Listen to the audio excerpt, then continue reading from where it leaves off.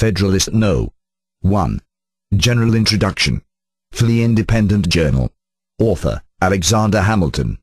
To the people of the state of New York, after an unequivocal experience of the inefficiency of the subsisting federal government, you are called upon to deliberate on a new constitution for the United States of America.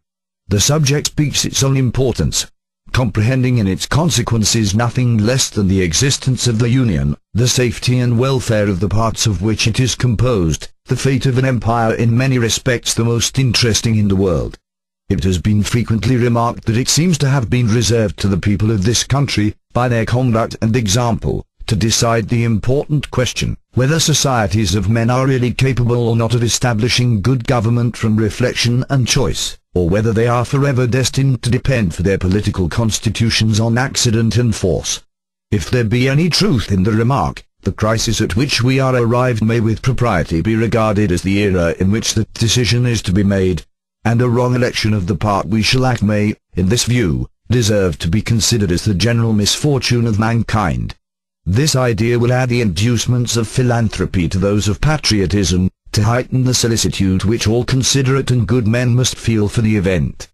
Happy will it be if our choice should be directed by a judicious estimate of our true interests, unperplexed and unbiased by considerations not connected with the public good. But this is a thing more ardently to be wished than seriously to be expected. The plan offered to our deliberations affects too many particular interests, innovates upon too many local institutions, not to involve in its discussion a variety of objects foreign to its merits, and of views, passions and prejudices little favorable to the discovery of truth. Among the most formidable of the obstacles which the new constitution will have to encounter may readily be distinguished the obvious interest of a certain class of men in every state to resist all changes which may hazard a diminution of the power, emolument, and consequence of the offices they hold under the state establishments, and the perverted ambition of another class of men, who will either hope to aggrandize themselves by the confusions of their country, or will flatter themselves with fairer prospects of elevation from the subdivision of the empire into several partial confederacies than from its union under one government.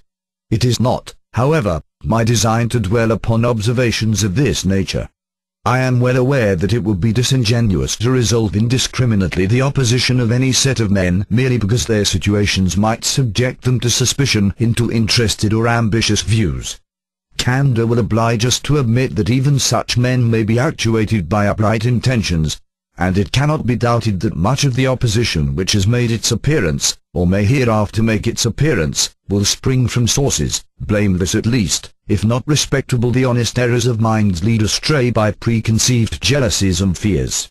So numerous indeed and so powerful are the causes which serve to give a false bias to the judgment, that we, upon many occasions, see wise and good men on the wrong as well as on the right side of questions of the first magnitude to society. This circumstance, if duly attended to, would furnish a lesson of moderation to those who are ever so much persuaded of their being in the right in any controversy. And a further reason for caution, in this respect, might be drawn from the reflection that we are not always sure that those who advocate the truth are influenced by purer principles than their antagonists. Ambition, avarice, personal animosity, party opposition, and many other motives not more laudable than these, are apt to operate as well upon those who support as those who oppose the right side of a question. Were there not even these inducements to moderation, nothing could be more ill-judged than that intolerant spirit which has, at all times, characterized political parties. For in politics, as in religion, it is equally absurd to aim at making proselytes by fire and sword. Heresies in either can rarely be cured by persecution.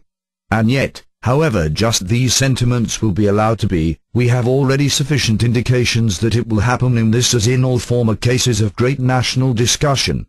A torrent of angry and malignant passions will be let loose. To judge from the conduct of the opposite parties, we shall be led to conclude that they will mutually hope to evince the justness of their opinions, and to increase the number of their converts by the loudness of their declamations and the bitterness of their invectives. An enlightened zeal for the energy and efficiency of government will be stigmatized as the offspring of a temper fond of despotic power and hostile to the principles of liberty an over-scrupulous jealousy of danger to the rights of the people, which is more commonly the fault of the head than of the heart, will be represented as mere pretense and artifice, the stale bait for popularity at the expense of the public good. It will be forgotten, on the one hand, that jealousy is the usual concomitant of love, and that the noble enthusiasm of liberty is apt to be infected with a spirit of narrow and illiberal distrust. On the other hand, it will be equally forgotten that the vigor of government is essential to the security of liberty, that, in the contemplation of a sound and well-informed judgment, their interest can never be separated, and that a dangerous ambition more often lurks behind the specious mask of zeal for the rights of the people than under the forbidden appearance of zeal for the firmness and efficiency of government.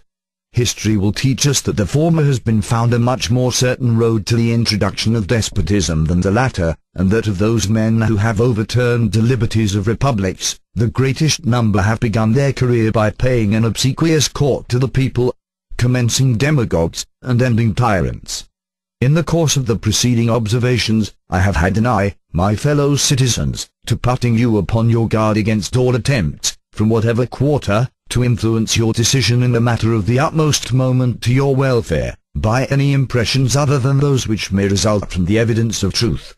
You will, no doubt, at the same time, have collected from the general scope of them that they proceed from a source not unfriendly to the new constitution. Yes, my countrymen, I own to you that, after having given it an attentive consideration, I am clearly of opinion it is your interest to adopt it. I am convinced that this is the safest course for your liberty, your dignity, and your happiness. I affect not reserves which I do not feel. I will not amuse you with an appearance of deliberation when I have decided. I frankly acknowledge to you my convictions, and I will freely lay before you the reasons on which they are founded. The consciousness of good intentions disdains ambiguity. I shall not, however, multiply professions on this head. My motives must remain in the depository of my own breast. My arguments will be open to all, and may be judged of by all. They shall at least be offered in a spirit which will not disgrace the cause of truth. I propose, in a series of papers, to discuss the following interesting particulars. The utility of the Union to your political prosperity the insufficiency of the present Confederation to preserve that Union the necessity of a government at least equally energetic with the one proposed, to the attainment of this object the conformity of the proposed constitution to the true principles of republican government its analogy to your own state constitution and lastly, the additional security which its adoption will afford to the preservation of that species of government, to liberty, and to property. In the progress of this discussion I shall endeavour to give a satisfactory answer to all the objections which shall have made their appearance that may seem to have any claim to your attention.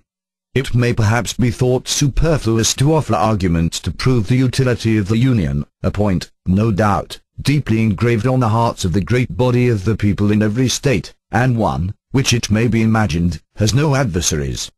But the fact is, that we already hear it whispered in the private circles of those who oppose the new constitution, that the thirteen states are of too great extent for any general system, and that we must of necessity resort to separate confederacies of distinct portions of the whole. This doctrine will, in all probability, be gradually propagated, till it has votaries enough to countenance an open avowal of it. For nothing can be the more evident, to those who are able to take an enlarged view of the subject, than the alternative of an adoption of the new constitution or a dismemberment of the Union. It will therefore be of use to begin by examining the advantages of that Union, the certain evils, and the probable dangers, to which every state will be exposed from its dissolution. This shall accordingly constitute the subject of my next address. Publius.